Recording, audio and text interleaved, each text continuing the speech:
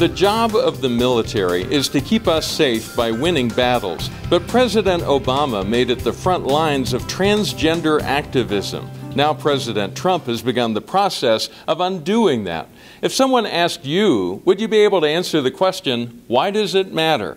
Stephanie Curry is Public Policy Manager for Family Policy Alliance and also an attorney. Hi, Stephanie. Hi, Stuart. First, what's your summary of the new guidelines just issued from the administration? The new guidelines from the Trump administration answer the question that the former Obama administration failed to answer, and that is what is the purpose of the military? And Trump so clearly said it's to win decisively.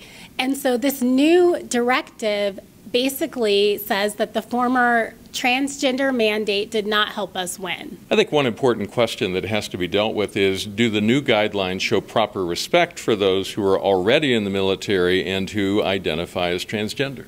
Absolutely, Stuart. These new guidelines don't target any individuals who identify as transgenders right now. It doesn't kick anyone out of the military. It gives our military leaders the opportunity to come up with a set of further guidelines to address the recruitment of individuals who identify as transgender and to cut off funding for sex change operations provided that it doesn't affect the health of any individuals. Now, this is a topic of conversation that's going to come up, especially among families that may have family members who are in the military. Mm -hmm. So let's just pretend for a second, just to answer some of the questions that might come our way along the way.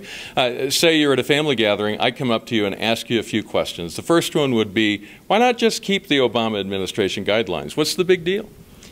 It's a big deal, and that the Obama administration didn't effectively assess whether the transgender mandate would be good for the military. Would it be good for winning and defending America? And Trump has unequivocally said, no, no, this transgender mandate is not good, and we're going to begin the process of undoing it.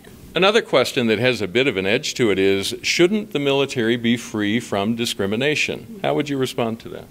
The military has every right to set into place medical guidelines and standards as who can serve. And those guidelines include your age, whether you have back problems, asthma, any sort of significant medical health problems that can affect your military service. And individuals who identify as transgender oftentimes are on long term hormone therapies, have had or plan to have significant physical changes to their bodies and surgeries. And so this is a grave concern that the military absolutely needs to take into account. And, and the military life is not like working at the local manufacturing plant. You don't just go in, run eight hours, and then go home again. That's right. The military is a very different life than what many of us civilians experience. You give up a lot of privacy. You're living in a large group of people, tight packed spaces. You may be deployed or on a ship for months at a time without access to your drugs or hormones therapies that you need or the medical care that you would need.